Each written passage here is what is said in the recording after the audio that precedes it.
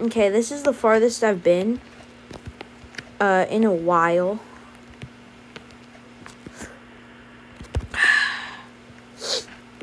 This outside section sucks and I hate it. I hate the creator of this for making it and I just